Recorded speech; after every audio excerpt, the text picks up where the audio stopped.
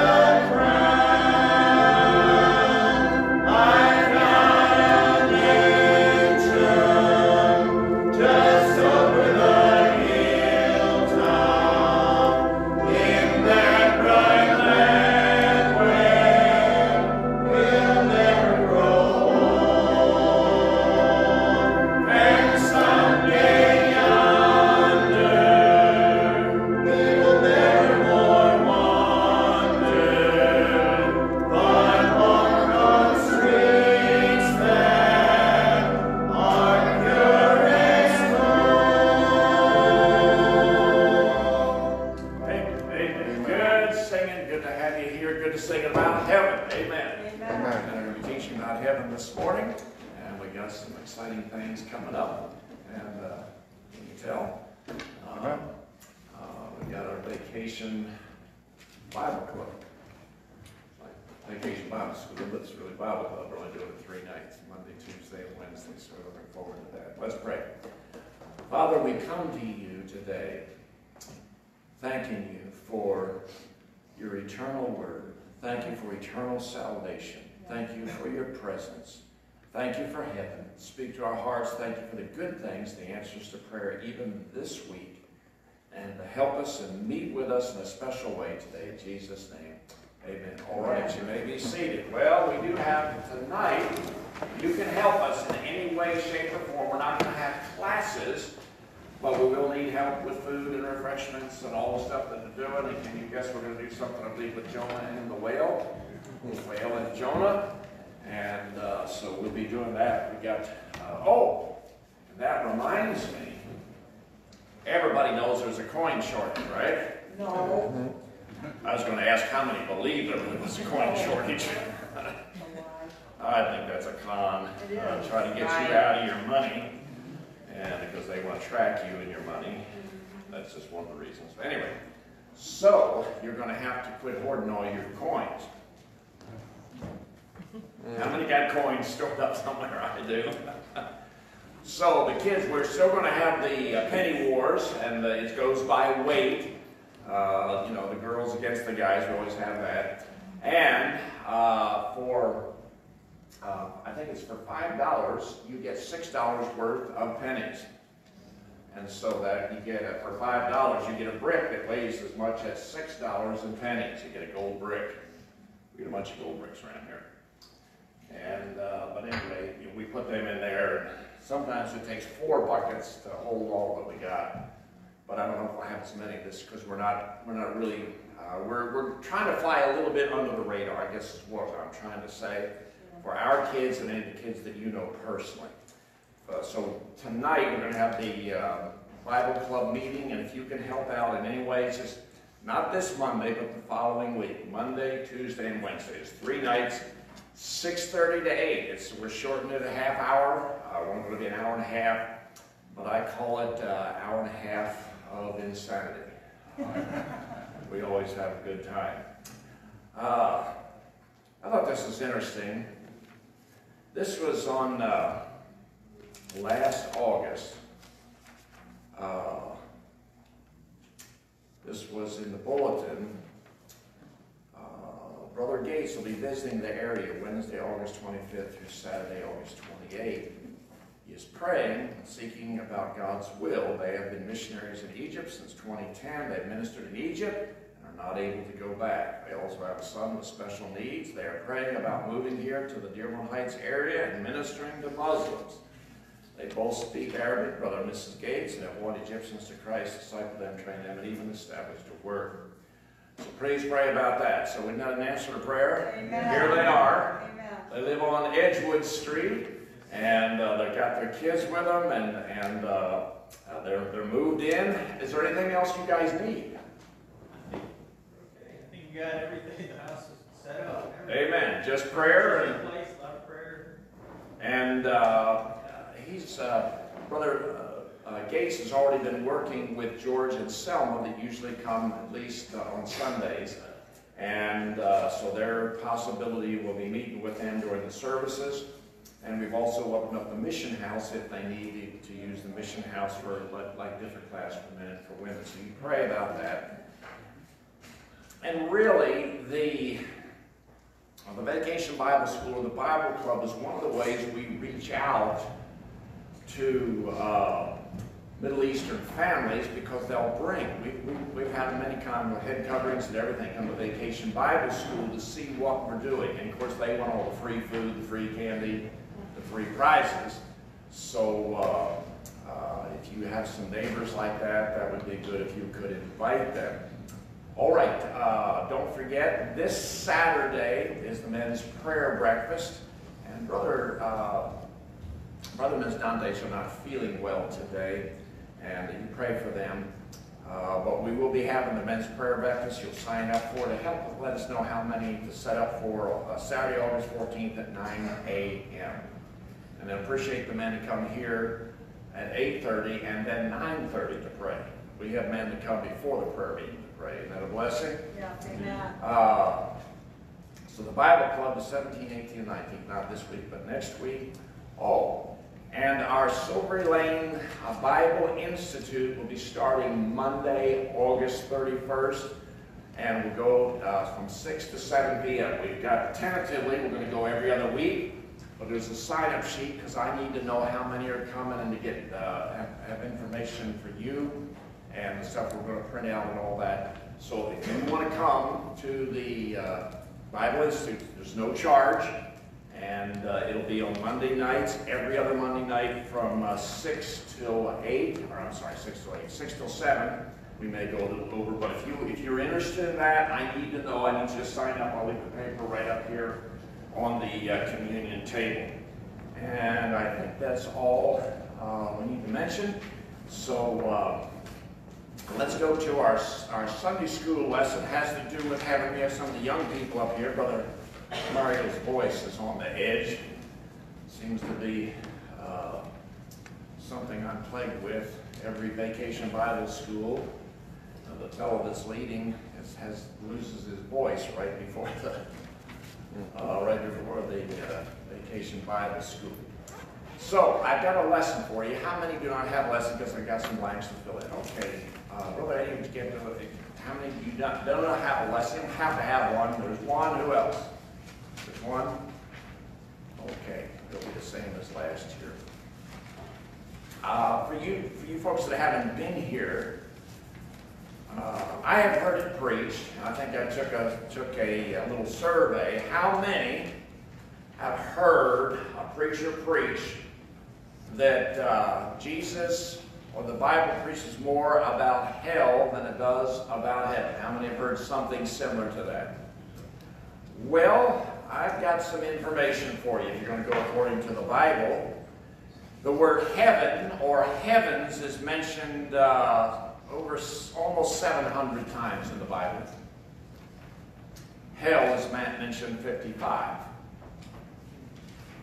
Does that sound like I'm preaching more on hell than in heaven? Doesn't to me. Uh, destruction is mentioned some, and there's other words that are used for hell or for heaven. But the phrase in heaven, I mean, that's pretty, pretty specific. In heaven is used in the Bible 99 times. So, yes, there's much negative in the Bible, and yes, uh, hell is a place to be shunned, and heaven is a place to be gained, but uh, I don't think God wants us to live our whole lives in fear of hell. Now, I'm glad I'm, I'm not going to hell. Amen. And that's why I got saved. But uh, what's motivating me now uh, to live for God is not necessarily not going to hell. What's motivating me is because I'm looking at what's on the other side. Right. So heaven or heaven is mentioned almost 700 times. And the phrase in heaven, which I think is important, you will to circle that number three, is used 99 times. In heaven, in heaven, in heaven. Uh, there are three men who saw heaven on from the earth and wrote something about it. The first one is Stephen in Acts chapter 7. Uh, and the second one is Paul the Apostle in 2 Corinthians 12. And the third is John the Beloved in the book of Revelation. Uh, now, heaven, and, and this, is, this is important, uh, let's go. We talked about Stephen last week in, in uh, Acts chapter 7. And let me just say this if you, if you got a new lesson and you didn't get filled in. Stephen saw heaven. This is your blank in Roman number 1, the middle of the page. Stephen saw heaven. He was preaching and he overcame suffering, is the blank. He overcame suffering by keeping his eyes on heaven. Uh, it's one of the most unique uh, martyrdoms we've seen, but, and, if uh, you'll read Foxe's Book of Martyrs, there are others that had similar situation. He was full of the Holy Ghost. He is described as falling asleep, which doesn't register to me as a martyr. Uh, but looking to heaven, we have mentioned, will help you, and three things I've got here particularly, will help you overcome suffering, it will give you the encouragement. I don't know how many times I talk. In fact, I talked to somebody yesterday, and they said, We're looking forward to heaven. It's an older person, of course. We're looking forward to heaven. Uh, and uh, thank God for that. It'll give you encouragement, and it ought to give you some conviction. Remember, Isaiah saw heaven. He glimpsed up into heaven. Yeah. And I'll mention this maybe earlier. He wasn't high-fiving Jesus. He was, uh, woe is me, I'm undone. So seeing heaven, uh, because I've heard it said, boy, if we could get one glimpse of hell, it'd change our lives, we'd be great soul winners. Well, these guys saw heaven, and it really motivated their lives.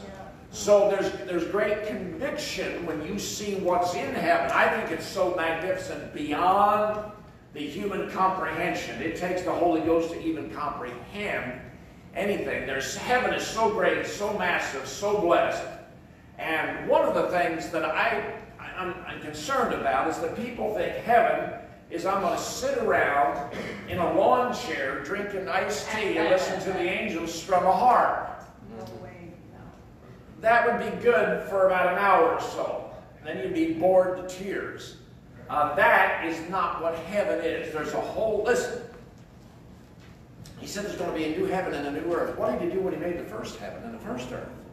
What was, what was, the, what was the Garden of Eden like? Uh, what was the work that God had Adam to do?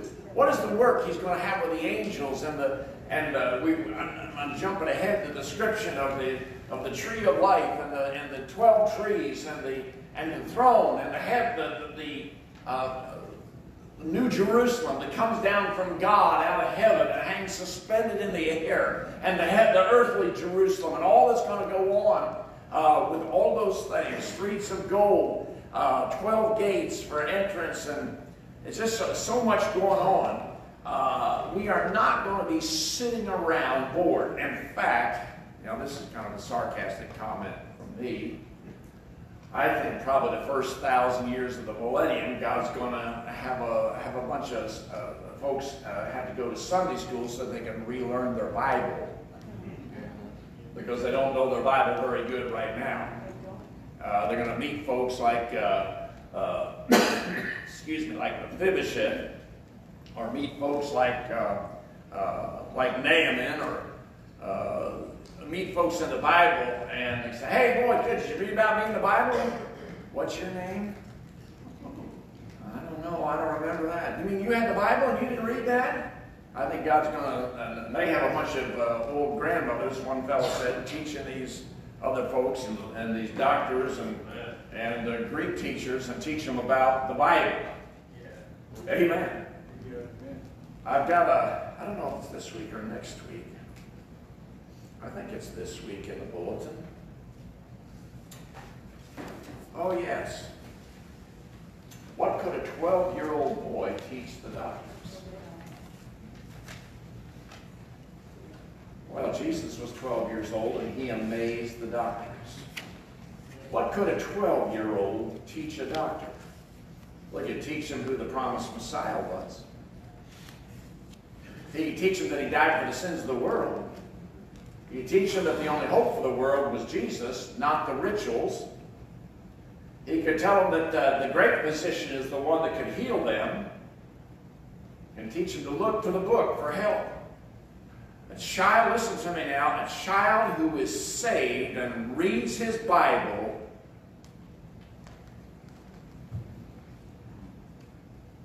comes from a consistent Christian home where they read their Bible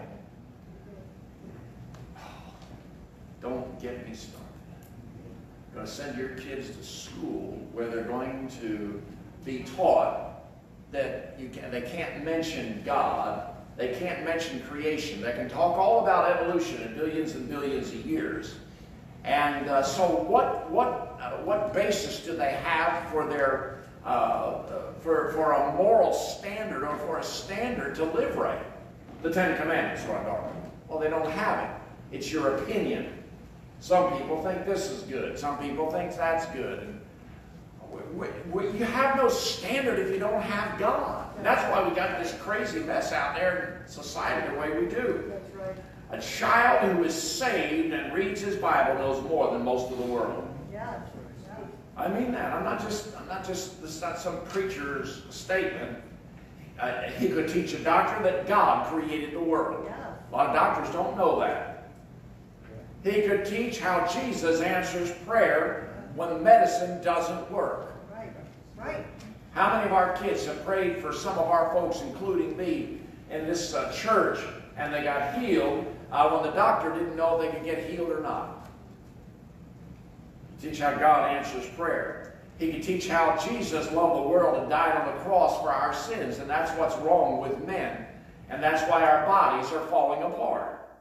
Uh, listen, God's uh, uh, had Paul write that God chose the foolish things of the world to confound the wise. So let your kid listen. That's why I said I had a family left here.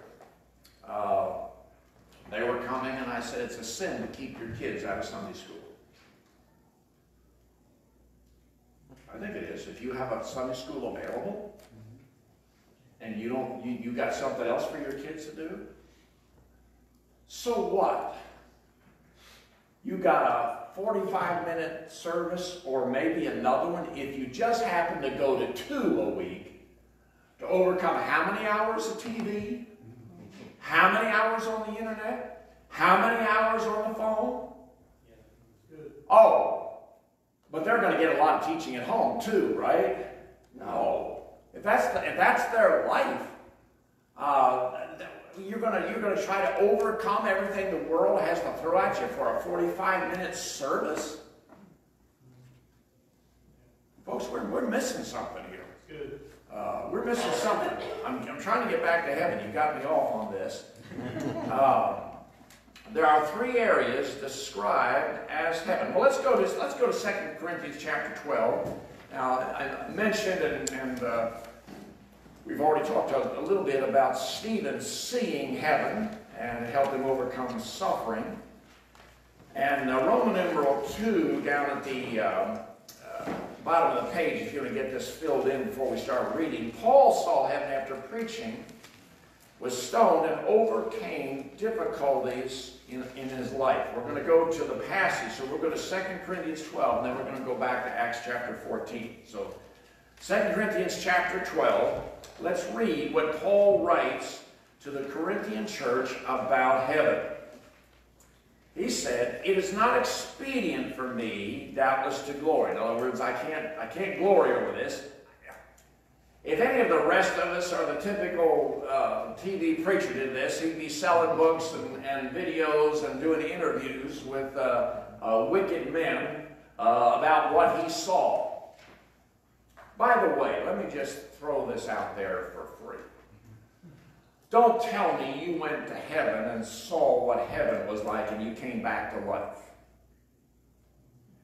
Every one of those testimonies that I have read in books, I've read a couple in books and seen a couple on the internet, what they described heaven like was not what the Bible said. Amen. They come up with some uh, uh, some uh, human, uh, uh, some nice dream some human had. Uh, and said they saw heaven and God sent them back with a message. No, he's already sent back Jesus with a message. Sure. And we, we, don't need, we don't need another message. By the way, while I'm on that subject, you get me off on all kinds of things today. those pictures, they always show Jesus, and I see them and think about him the same thing too. That was not made by a Bible believing Christian. No. It was made by a Roman Catholic person. Generally, they had Jesus with light brown or reddish hair, and uh, he doesn't even look like a Jew, and he looks like an effeminate person, and uh, that is not what Jesus looks like. Right. No, not at all. He never looked like that. And I know for certain that he doesn't look like that in heaven. That's right. You mm-hmm. say, why is that? Because I have a pretty detailed description in yeah, right. Revelation chapter one uh-huh. with eyes as a flame of fire and feet as fine brass and a two-edged sword out of his mouth. And when John the Beloved, who saw Jesus on the earth, saw him in heaven, he fell at his feet as dead. Mm-hmm. Right. That was that was the, the picture. And this this effeminate Jesus that they show everywhere is not the Jesus of the Bible. Uh, now, he was a man here on this earth, and we don't know how he looked, but he must have looked like a Jew. And most all the movies they have of Jesus, he's not a Jew. or doesn't look like one, not a typical Jew. Uh, anyway. So, Second Corinthians chapter 12, I'm talking about what they, they claim they see in heaven, what they claim when they saw Jesus. Uh, it, you know, all that amounts to is self-glorification. Glorifying yourself and lifting yourself up, selling books and going on talk shows and all that kind of stuff. That's, that's not what God's interested in. God did not want people to see heaven and go around and go on talk shows. He wants us as born again Christians to preach the gospel of the Lord Jesus Christ. Second Corinthians chapter 12, this is the second man we have that saw heaven and it tremendously affected his life. He said, It is not expedient for me, doubtless, to glory. I will come to visions and revelations of the Lord. He's going to describe himself here. He says, I knew a man in Christ about 14 years ago, whether in the body I cannot tell, or whether out of the body I cannot tell, God knoweth, such an one caught up to the third, third heaven. We're going to talk about that just a minute. And I knew such a man, whether in the body or out of the body I cannot tell, God knoweth. Uh, he's, he's in some kind of a state uh, but he sees this vision. How that he was caught up into paradise, third heaven, and heard unspeakable words which is not lawful for a man to utter. In other words, God would not let him even write about it or glory in it. Of such an one will I glory, talking about Jesus, yet of myself I will not glory, but in my infirmities. Boy, how does that run against this, this health and wealth gospel? You just live for God and everything's going to be wonderful. And Paul dealt with illness most of his life. For though I would, verse 6, for though I would desire to glory, sure, who wouldn't? I shall not be a fool, for I will say the truth, but now uh, I forbear, lest any man should think of me above that which he seeth me to be, or that he heareth of me. Oh, John got Listen, did you hear about Paul? He got to go to heaven. He got to see heaven. Did you see that? Oh wow! Isn't that wonderful? He got he got to that's not that's not what God wants to glorify. He wants to glorify the Lord Jesus. And lest any man should think of Paul more than he should, because he saw a vision. In fact, wasn't it Peter that said, We saw Jesus manifested on the Mount Trying, he said it in his yeah. letter. He said, We saw, we heard him speak, yeah. and yet we have a more sure word of prophecy than what I saw in the vision or what we saw. Yeah. Same with Paul. Uh, uh, it's not for him to, to glory in himself, uh, but I will glory in my infirmities, he said, uh, lest any man should think of me above. And Brother Jack, I remember when God sort of revealed this to me because we as preachers are good missionaries too, Brother Gates. We're good at self-promotion. Boy, we're going to do this, and boy, we're going to do that, and boy, God did this in my life, and we're going to do that, and God's called me to do this, and God's called me to do that. And you know what Paul wrote of Jesus? He made himself of no reputation. reputation. And yet it seems like it, Brother Gates, we're always trying to promote ourselves and give ourselves a reputation. We're trying to build a reputation and make ourselves look good. And Paul says, not me.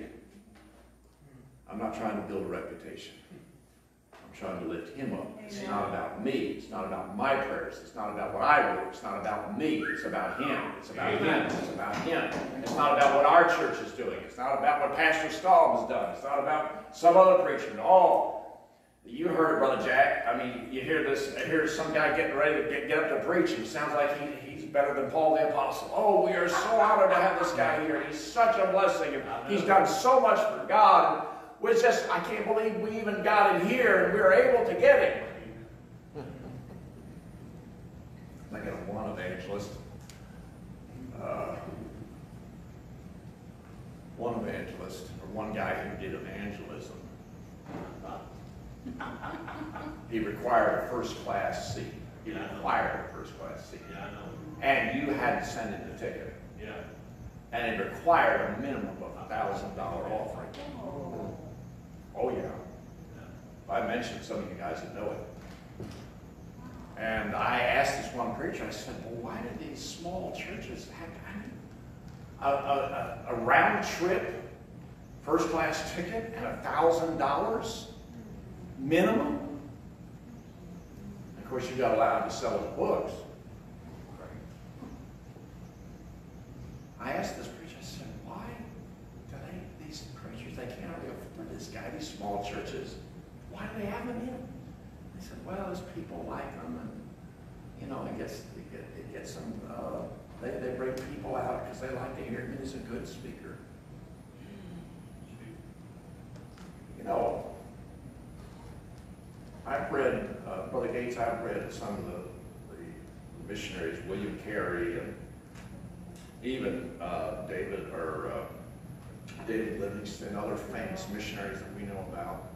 And you know, one of the things that's most amazing about Jack? They said they were not impressive. I've, I've never met Ford Porter. I've heard about him.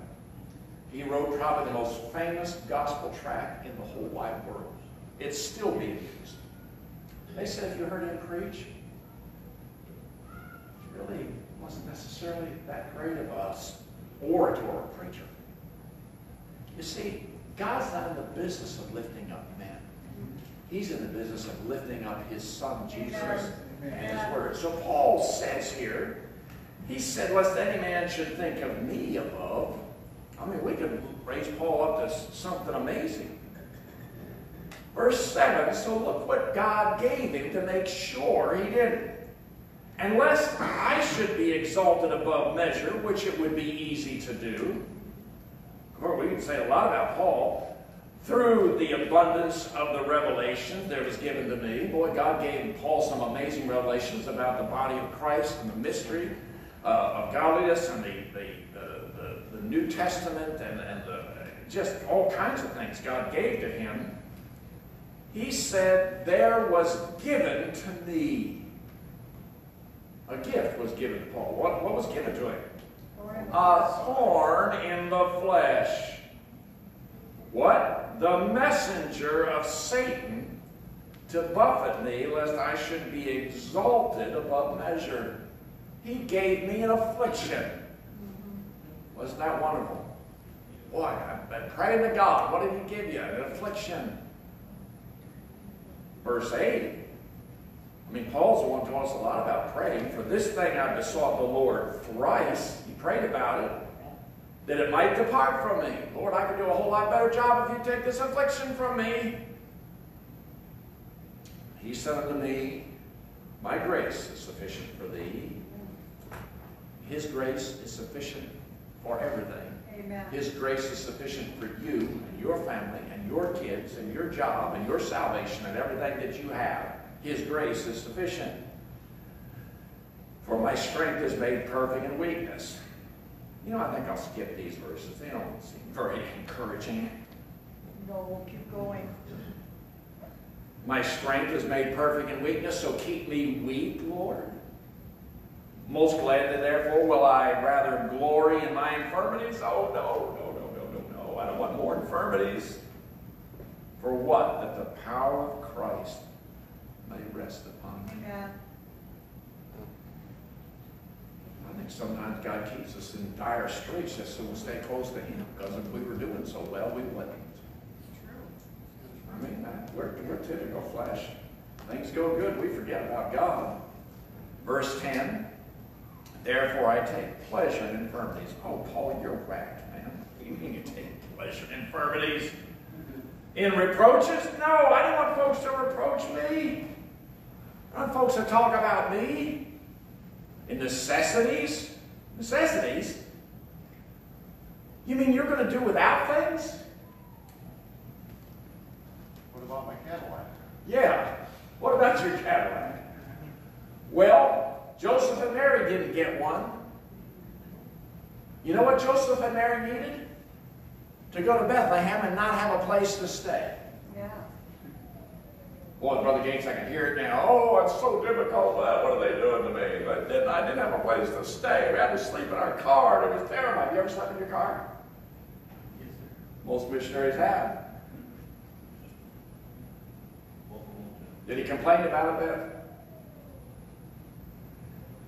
We need necessities. And, and Joseph and Mary needed to not have a place. They needed to wind up having a baby and putting him in a manger having a bunch of shepherds attend the, the birth. They needed to have that need. Uh, so God could take care of them and show his, his mighty grace and mercy to them. He said that I, I take pleasure in infirmities and reproaches and necessities. God wants you in need. You need to be in need. In persecutions, let's skip that one in distresses for Christ's sake. For when I am weak, then am I strong. Amen. Boy, there's a lot in there. I don't have time to cover all that, but I'm simply saying that Paul, God took Paul to the third heaven. Now let's go to some scriptures. We will look at these before, but I won't let you look at them again. Psalm 148. Let's go to that one first. We're talking about heaven Paul saw heaven, and it motivated him to overcome difficulties in life. Heaven is mentioned far more in the Bible than hell, kingdom of heaven. Uh, psalm 148, it's a great psalm. By the way, I think I've got this. Brother Jack, you're preaching tonight, right? Uh, you want me to. Is that a yes or a no? Are you preaching? Did I have, did I have scheduled to preach tonight? I don't know, brother. Uh, I mean, I got the message already go. I thought I, I couldn't remember what day I asked you to preach. I probably did. I to you for the service. Psalm 148. Now, this is also the psalm that says God sends bad weather. Verse 8, fire. Whoa, whoa, whoa, hail, snow, vapor. Remember when the power went out Wednesday? You know what they said, how, how, what, how the power went out here Wednesday? Lightning bolt struck the, the, the telephone pole. well, whose fault was that? I know it's that dumb weather man who didn't. Fire and hail and snow, verse 8, vapor, stormy wind, fulfilling his word. That's, that's another thing. All right, Psalm 148, talking about heaven. Praise ye the Lord is one of the last, the whole last part of the book of Psalms is praise. Praise ye the Lord from the heavens, plural, heavens. Praise him in the heights. Praise him, all ye angels. Praise him, all ye hosts. That's the armies, the angels. Verse 3 Praise ye him, sun and moon. Praise him, all ye stars of light. Praise him, ye heavens of heavens, and you waters that be above the heavens. Now remember Paul, he said he was caught up into the one, two, three, third heaven. So we know there's more than one heaven here. And if you'll go back, there's and there's this body of water, we call it the crystal sea in, in the Revelation chapter 4. Uh, we sing about, i will stand beside the crystal sea. That, that frozen body of water that's up there in heaven with the fire on it. I had to draw pictures of that when, when I uh, uh went through my uh, uh, uh, classes in, in, Revelation a year or so ago, and I had to draw a picture of every chapter of the book of Revelation. One of them was, wow, the fire on the, on the, uh, the body of frozen water in heaven. it's pretty, pretty spectacular, just from my imagination. So there's heavens above, there's three heavens. So let's go to Genesis chapter 1 briefly, and uh, let's see if we can learn something uh, about the heavens.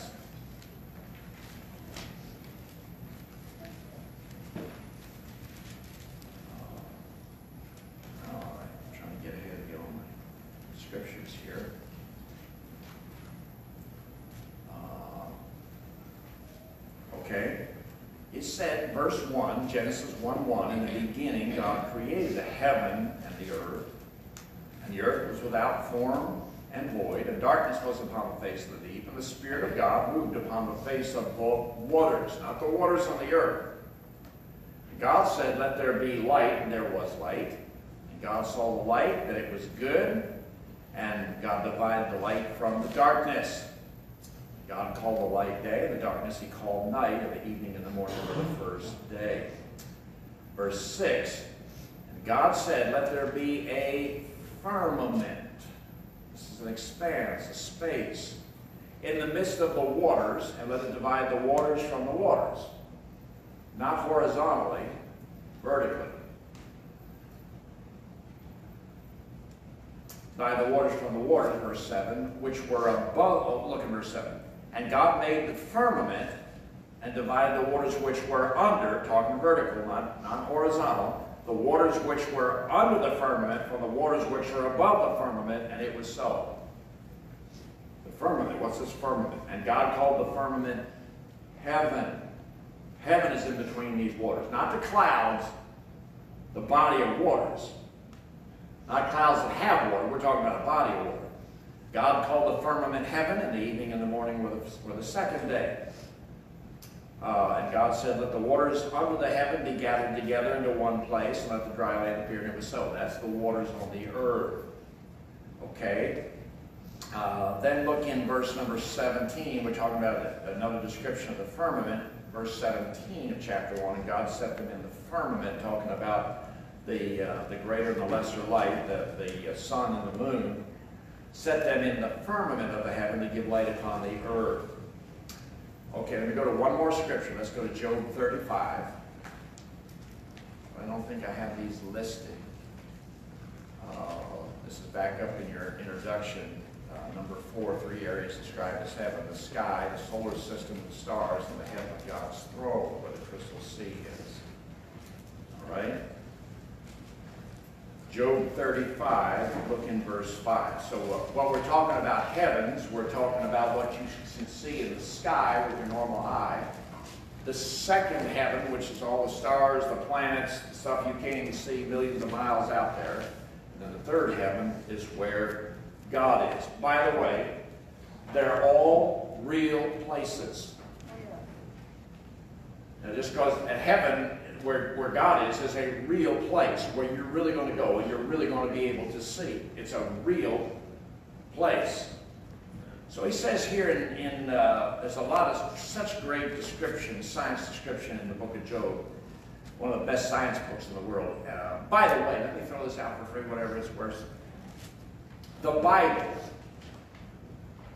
never contradicts true science. Don't you right. ever forget that. I heard this, well, the Bible's not a science book. Oh, yes, it is.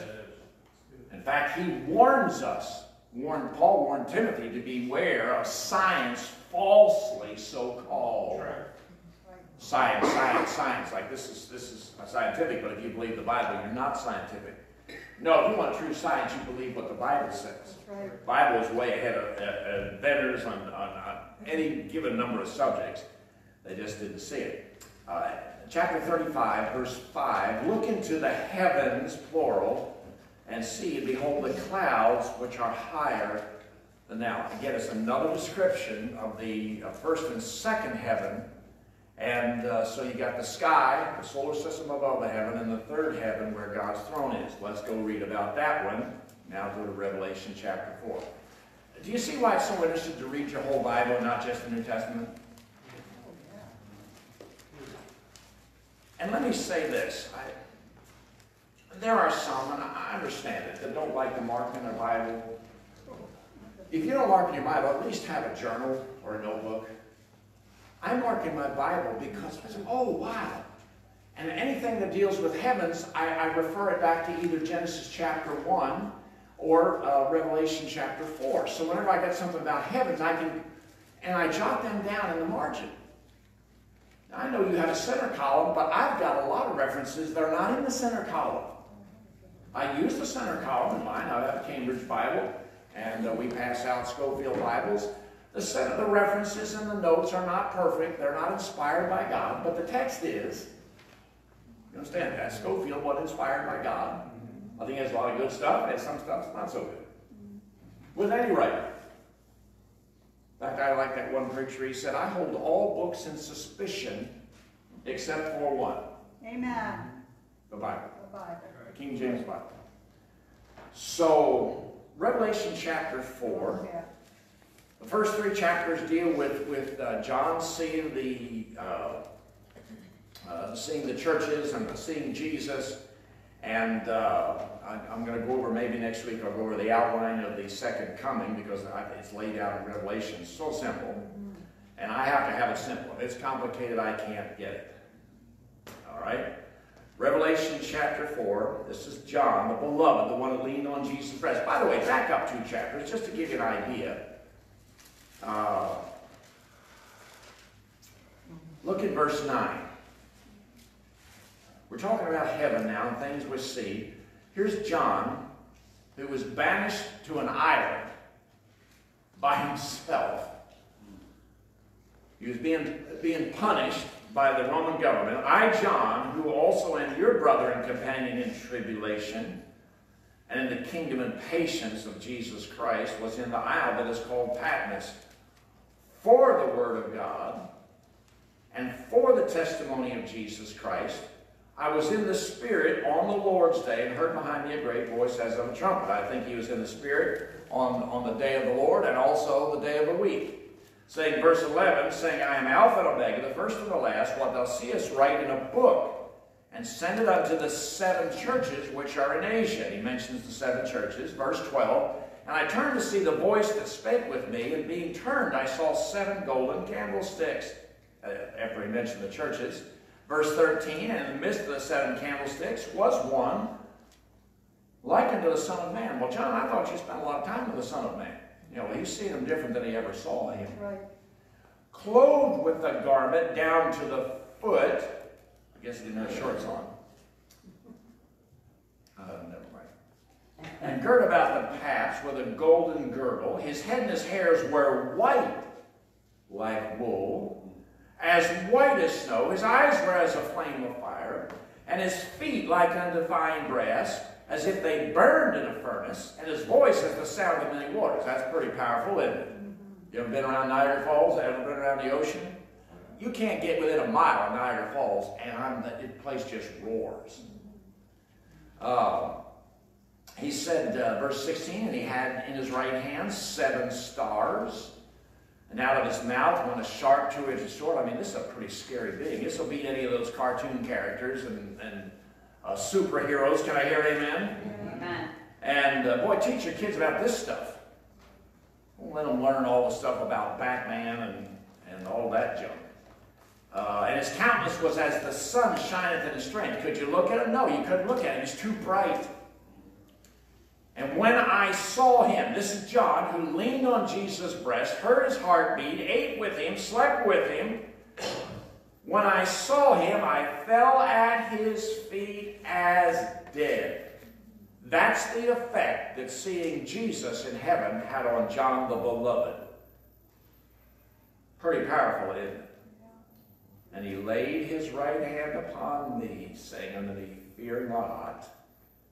I am the first and the last. Now, let's go to what John sees here in chapter 4. Because he's kind of like Paul. He doesn't whether he's in the spirit, in the body, out of the body. Revelation chapter 4. Talking about heaven now. And this I looked, and behold, a door was opened in heaven. You're going to find that phrase in chapter 19 and verse 11, and it cuts the, the, the book of uh, Revelation into, into, into different sections. It's very important. So heaven is open, and the first voice which I heard were as of a trumpet talking with me, which said, Come up hither, and I will show thee things which must be hereafter. Sounds much like Jesus coming in the clouds, and the voice of the trumpet, the voice of the archangel, and the trump of God that all the saints are going to hear, not the whole world, I the whole world's going to hear. He's coming as a thief in the night. Verse 2 And immediately I was in the Spirit, and behold, a throne was set in heaven. And one sat on the throne, and, and he that sat was to look upon like a jasper and a sardine stone. There was a rainbow round about the throne. We're going to stop right there. We'll pick up on this next week. We see a half rainbow or a double half rainbow. I believe in heaven we're going to see a 360 degree rainbow. Uh, so remember the glory of God. It'll have nothing to do with these perverts. Amen. Uh, I uh, hope that helps you a little bit about heaven, and it's a place to look forward to. It's exciting. It's where I'm going, and if you're saved, it's where you're going. And I, I'm excited every time I hear about it. Hope it helps you. And listen, we want to tell others about Jesus because that's where they want to go. Right. Not to hell. All right. God bless you. Let's get ready for the morning service. Thank you,